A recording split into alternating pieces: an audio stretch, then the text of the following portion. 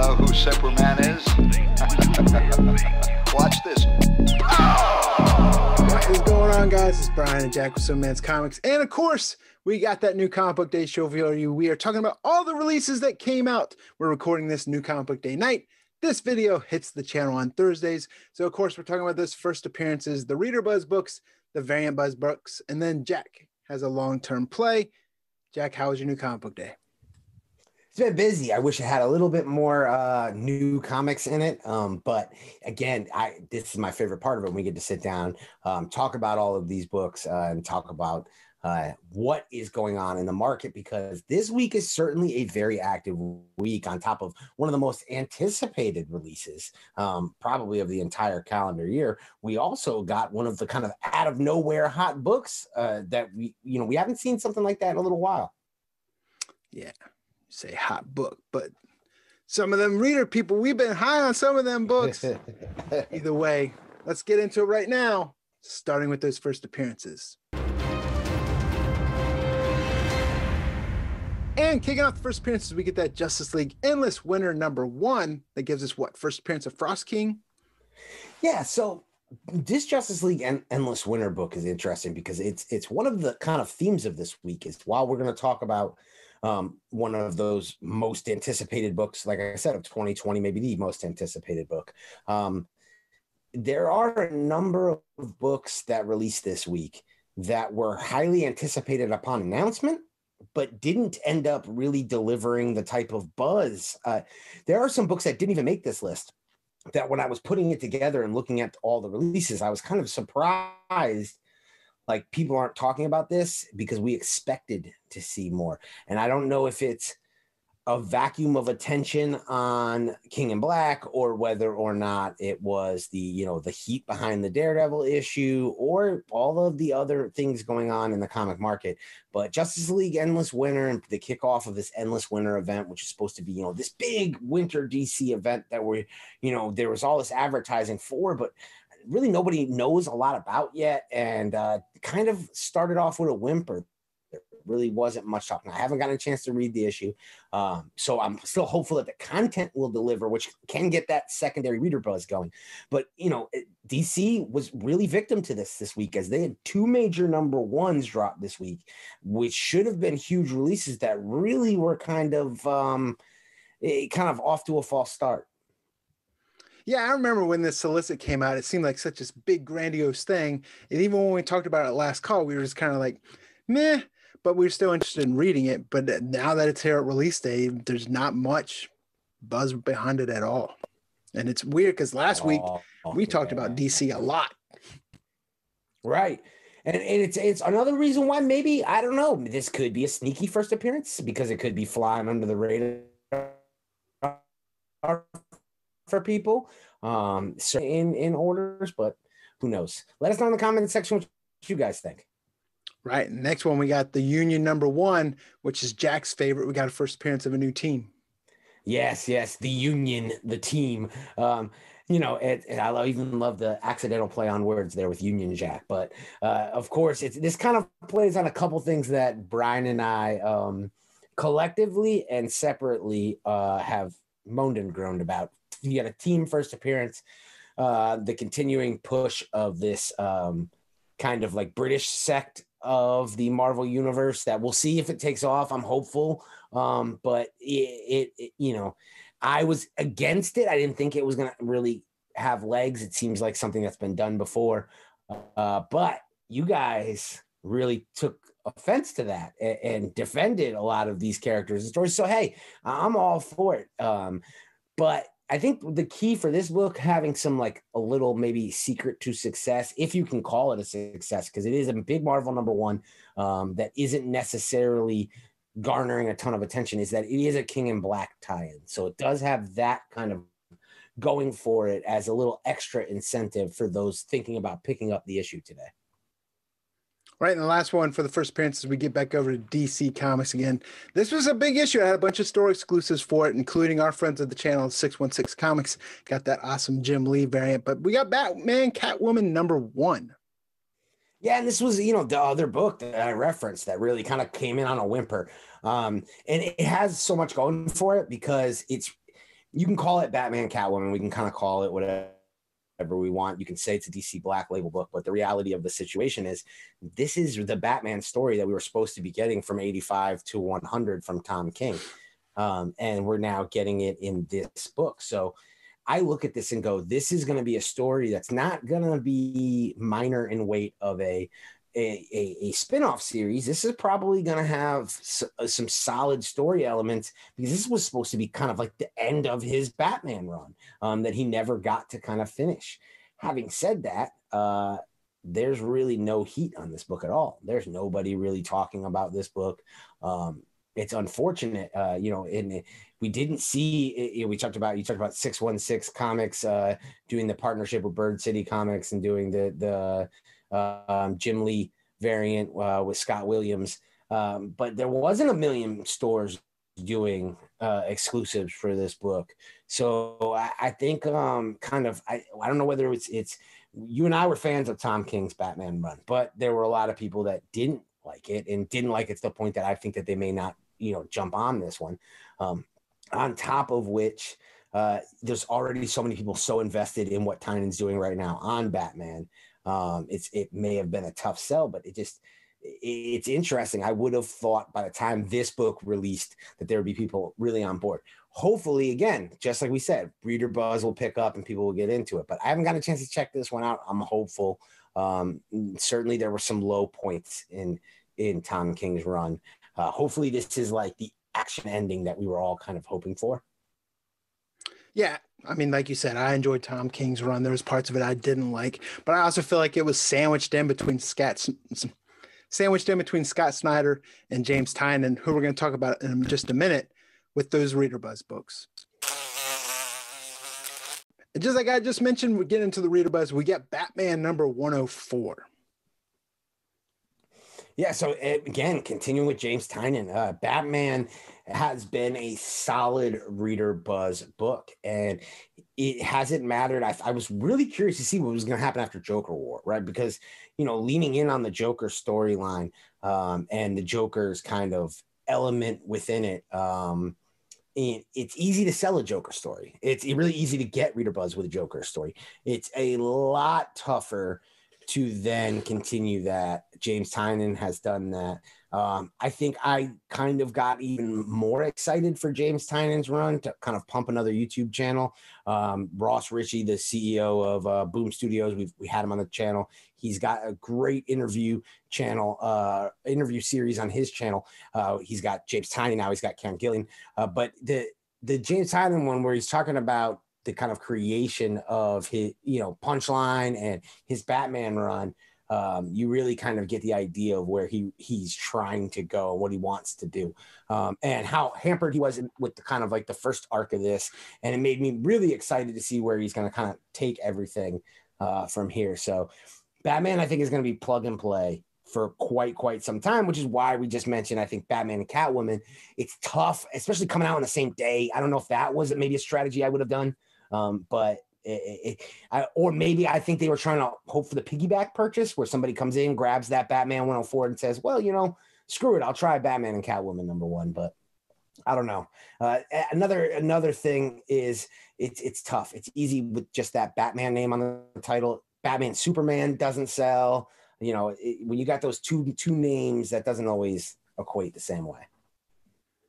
Yeah, and it's hard. I mean, you're in that time of year where people are kind of putting, putting pennies together to get Christmas gifts point. to buy, and people want to stick to what they know and what they're used to, which gets us into that next one on the reader buzz. We got Thor issue number ten. People know what they're getting with that book right now, and they're definitely picking that up over, say, like the Batman, Catwoman, the Union, and the Justice League Endless Winter. But Thor number ten came out, and people are still buzzing about it. Yeah, and even though it wasn't like some big first appearance event type issue, you're right. I think that's a large thing. There is is you, people know what they're getting at this point with Thor, and they know what they're getting with Donny Cates. Big day for Donny Cates having obviously King in Black, and then and then this Thor issue. But um, you know, you mentioned a lot of books that they're they're fringer titles, and and I it's easy to go in and say, you know, I know if I grab Batman, I know if I grab Thor, um, I know what I'm getting with those. So I think that was a lot of the logic of why those were some of the most solid books uh, this week, other than, of course, our big sleeper of the week. Yeah, I mean, another thing is, is all the first appearances we got number one issues, right? So you probably walked into your LCS and they probably had end caps just full of all these issues. Great and point. If you, and if you're getting towards this time of year, like I said, and you're like, oh, what am I going to buy? You usually think, well, they got plenty of them. You know, I can come back and pick that up another day. But right now, I'm getting these copies. But um, then that leads us into kind of that mystery of news broke over the past night, two nights, and Daredevil number 25. Yeah, I tell you, I'm gonna go ahead and just kind of like talk out loud here. Is I've been thinking about adding another segment to this show where we kind of talk about the book of the week because we say a lot of times the book of the week isn't the long term play, um, and the reason why this book isn't the long term play, just to put the lead out there right now, is I honestly don't know that it can sustain the pricing that it's going for right now because it's a storyline based first appearance. They would have you'd have to take it to multimedia um, for it to be uh, something that would be able to be investable beyond where it's at right now. Um, it's great if you can pick it up for cover price and flip. If you've already been reading it, it's cool. If you're a longtime Daredevil fan, it's cool. Um, we're gonna let you know there's some some minor spoilers here, even though they're all over the internet. But in the issue, of course, we we talked about this that there was actually some negative talk going into this issue about, oh man, I don't want to see another uh, Daredevil in uh, jail issue. I'm not gonna call out what YouTube channel I saw doing a pre FOC show and bury this issue. But there was one channel that I saw do that, and without, and I kind of agreed with their logic. So I'm not even hating. Uh, but when within that, Brian and I had that conversation because we're both fans, as you mentioned early on, of this run. We both Brian got me on this one, um, and Zdarsky's doing a hell of a job with it. So I, I read this this series regardless. Um, but it definitely, if we would have known that Elektra was going to take the mantle of Daredevil in this issue, I think certainly this would have been one I would have been looking for to try to stock up on. Um, and it's no, it's kind of a no brainer that this is a hit. And uh, shout out to Gary Nusser, uh, the comic dis- Despective uh, on YouTube, who uh, pointed out that actually before the issue had even dropped, that David Mack had put out an image that probably is like a variant cover or a future cover um, that kind of like led the breadcrumbs down that this was going to happen. This issue started to heat up before release. It's been the hottest book of the day. And it's always funny. To, you saw it in the shops today. Um, you had those people coming in who never buy Daredevil, right? And they're walking in. You got Daredevil, and they're trying to buy multiple copies of Daredevil. And uh, um, you know that that's always going to happen in situations like this and this is why when something good happens in a run like this it can spike to the prices that you're seeing because it's it's a true reader buzz series it's, it's only being ordered for pull list customers a few for the shelf you're not seeing stores like you mentioned brian with that end cap of daredevil 25 but i, I and i don't want to be negative and I'm I, I'm maybe going on a limb, but I kind of feel like you'll agree with me. We haven't talked about this yet today. Um, but I, you know, seeing the prices going for like 20, 25 dollars, I would say that that's reasonable for a book for an appearance like this, but I can't see it being a $50 first appearance or anything like that. Uh, could be wrong, but it, it, to me, it seems like everybody's going too fast, too quick. It'll, but what will be interesting is what will the late printings for this one be? Because there's a great chance for some great covers. Yeah, I'd be anxious to see, especially as the weekend pans out, as people get their copies and start putting them up there on eBay and um, undercutters come in. Um, You're already seeing some of that yeah. right now. So uh, nothing surprises me anymore with the way the prices go with some of these right. issues. I just know what I'm willing to pay and willing to not pay. But yeah, if you walked in and you saw Daredevil on the shelf today, people were picking up. It was like their little elf on the shelf Christmas miracle for the week. But Next one we want to talk about in the Reader Buzz. This is a book we've talked about AWA Upshot for a while now. They've been putting out consistently great stories. They have great creative teams. But we got erratic number one that came out this week. And then again, friends of the channel, D616 Comics, they had the only exclusive variant that I'm aware of. And that was by a fantastic cover, two cover set by Johnboy Meyers. Yeah, this is a book I'm rooting for um, because I love creator owned superhero stories.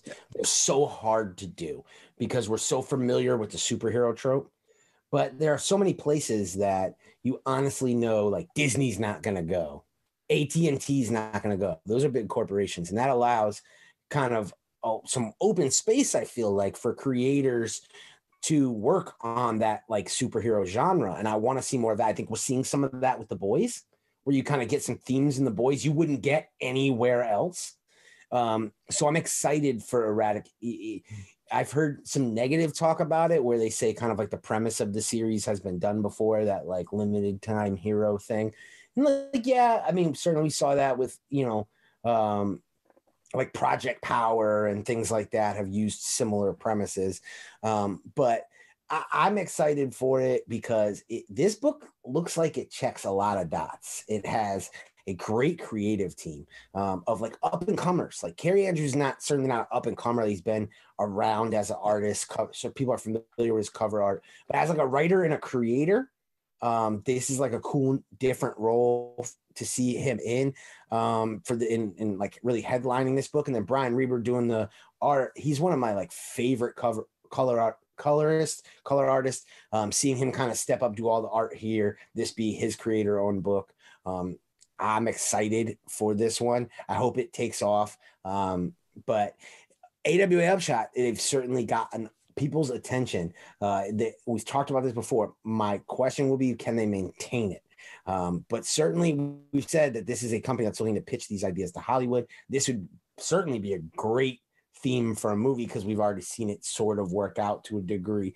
Um, but I think that this has a whole new spin, a whole new element. And I really love the look of this book, which I think makes a, a really big difference.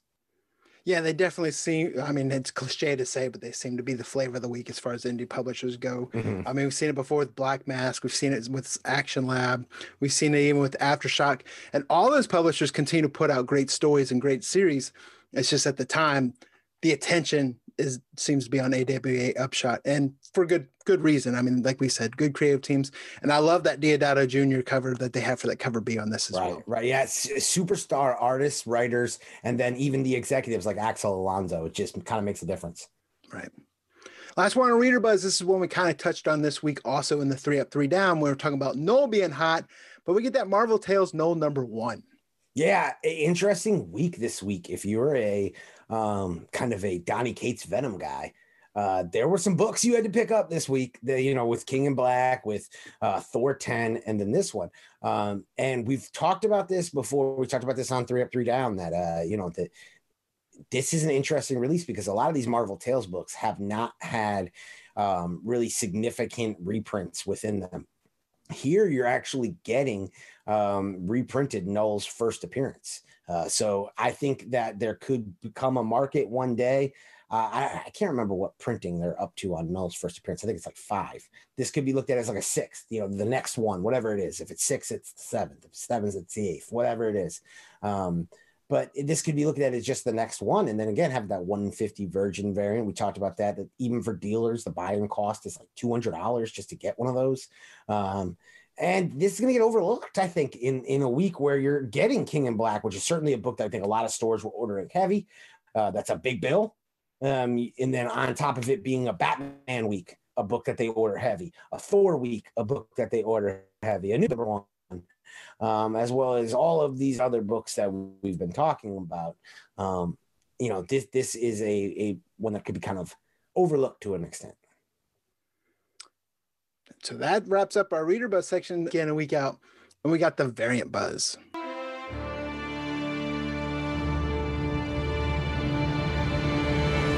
It's a very short variant buzz section this week, but we're going over to Marvel and we get that Miles Morales number 21 incentive.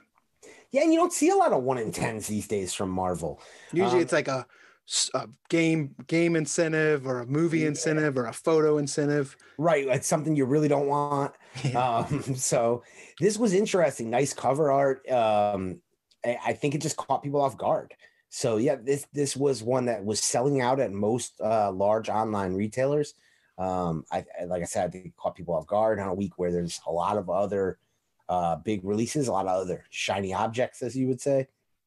Um, and man, and this one uh, just kind of uh, I think slipped past people. And uh, I wouldn't be surprised to see this one be a book that kind of continues to rise in value because I think we're going to be talking about Miles for quite some time. Um, and certainly my, Miles variants um, have commanded uh, kind of increased attention and risen in value o- over time as the buyers who are buying Miles more than a lot of other characters are collecting and keeping that character. And I think that that makes a real difference. So I, I kind of feel more bullish about Miles than 99% of the characters out there on the market.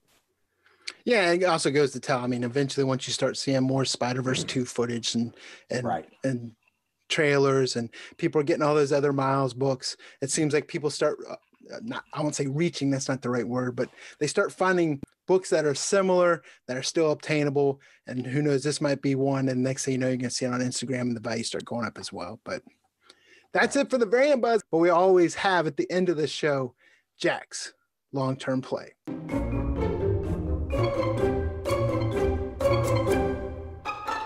And of course, if you haven't figured out yet, this is the book we haven't talked about yet on the show, but it was the big release of the week, especially from Marvel. And we get that King in Black number one, we also talk about here. Jack's mentioned it a lot of times. I'm sure he's going to talk about the other covers. It's had a bunch of covers for it, but we're talking about the importance of cover A. And I myself, just like Jack, enjoy picking up that regular cover. It also goes into kind of like trading cards, right? Everyone's after the refractors and the mojos and all these other one in tens, one in ones, one in 99s. But there's something to be said about that base rookie card. So there's also something to be said about that number one issue cover A. King in Black number one. Why is it your long term play? Well, I'll tell you a few reasons, but you actually made a great point there about the base rookie cards with sports cards, because I think we may even see some of that trend come into our hobby as sports cards tend to be a little bit ahead of us on the timeline. And you've seen that that, that trend from some of those like the inserts of our day in the 90s to the to the to the autographed inserts now to the base cards, getting a lot of that focus and attention. And we can end up seeing that in our hobby. That's more of an aside, but it's something that I kind of pay attention to. And it's one of the reasons why we we tend to kind of like pay attention and gravitate to these cover A's. Also, they're great long-term value, oftentimes because they're the ones that are going to get left on the shelf. They're the ones that are in the most abundance. All of the reasons that people are going to be negative about the current stock of cover A of King in Black is all the, the reasons why I like it. Um, I think it's the one that if you go on eBay right now and you look at like lots, there are a lot of dealers that are ordering, and, and what they do is they over order. They order way more of these books than they can handle, and they do it to get those incentives. They flip the incentives and they dump the books on the market. You can go right now on eBay and see 10 count lots, 20 count lots, 50 count lots of King in Black at retailer prices, the type of prices that only they should have access to. Um, so I, I really like this book, even with all of that. And the reason why is because we've been talking about this on the channel more and more. A lot of times I have four and five major points, and I can sell you on Venom and his long-term value, but I think you you're already there. Um, I, I, can sell you on Donny Cates, but my guess is whoever you are watching this, you're probably already there. So I think the thing that I want to really make a point, and it's something that Brian and I have talked about privately, and we've talked about kind of in different um, shows is prestige books. When you think about a wall, when you think about the walls at your local convention, there's different types of books that get featured on those walls. Obviously, first appearances, key number ones. Um, and then beyond that, it starts to get like variants and with your more modern dealers. And like, what is kind of that next thing? Well, prestige comics. What's a prestige comic? Well, it's a key a key reader buzz book, a Demon in the Bottle Iron Man, eh, or a oh, the one that Brian and I always like to reference, Killing Joke. Killing Joke isn't a first appearance. It's not. Uh, it's not anything that like you can really quantify easily in a key collector app. But at the same point, it is still a key nonetheless, which is why I'm sure it's featured within that app. Um, but it's it's a key uh, because of what it was as a release, the importance it was on the hobby, what it meant. It's almost like a, a moment in time. And if you were around, I know Brian has an incredibly personal story that he shared on the channel before about buying that book and what it meant to him. And, and people think about that. I think that for a current generation, um, King in Black, a book that is a, the largest, most highly anticipated book of 2020 um, from the biggest writer, the number one publisher, the most popular character, whether or not that makes sense to old school people or not. Um, Venom is the most popular character right now, uh, and it, it, I look at this book and I think that this is probably some kids' killing joke. And in the same way, um, I think Absolute Carnage, which has already, if you look, has already started to tick up a little bit.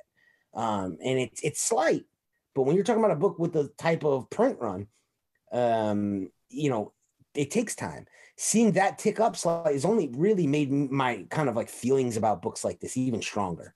Um, and I think that the problem why this isn't for everybody is you got to have really long term patience.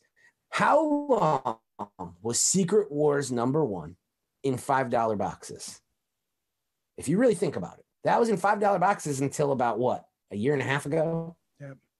Empire you will be in $5 boxes till eternity to it'll be in dollar boxes probably but but it is exactly the point is is is you have so many releases like empire war of realms endless winter a lot of big events and they don't command that same attention that king has on the market right um, think about how much we've talked about Knull on three up three down. You can't even imagine how much i go out of my way to avoid talking about Knull because honestly Knull's hot every week.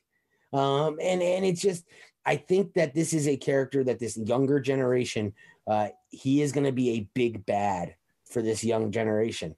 And this is kind of Knull's quintessential story. This is Donny Cates's, you know, quintessential story. And as big as Absolute Carnage felt, certainly in reading the first issue of King in Black, um, you kind of quickly realize like even that all only led to this.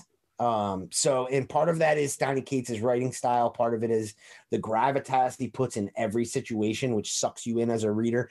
And it can be difficult as an investor because you feel every issue is going to be that one.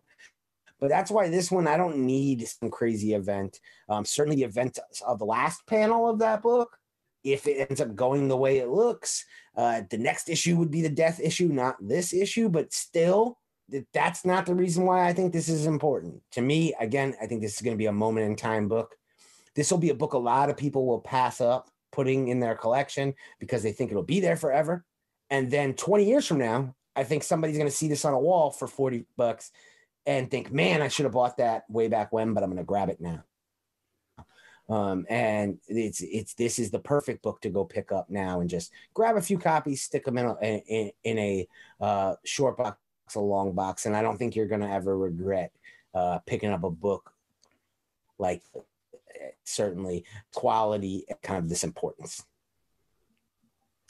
Yeah, I agree. I think it's great. I think it's a great story. I think it's a great issue, and I don't discount the cover A's and in, the least. Everyone wants those variants, but sometimes those variants kind of out of people's price range, especially with today's youth. We always talk about comics today are so expensive, and uh, how do you get kids in the hobby outside of Comic Book Day, Halloween Fest, when they're paying four dollars an issue, or or above that? It's a great entry point. It's a great book. I mean, if you look at today, Donny Cates today might be our our Claremont before, or our Simonson, right. or Byrne, or you know any of those people. It's just Donny Cates is definitely leaving his legacy, and this seems to be each one of his events books gets bigger and bigger. But another great one on the long term play. But there it is, guys. There's our Bolo show for this week. That's right. Be on the lookout. Let us know what books you guys picked up. Let us know what stories you guys enjoyed reading. Let us know if this Daredevil 25 was the first issue you picked up or if you've been reading it because we keep telling you such a great series. With that being said, guys, this is Brian Jack with Simpleman's Comics. We'll see you guys in the next video.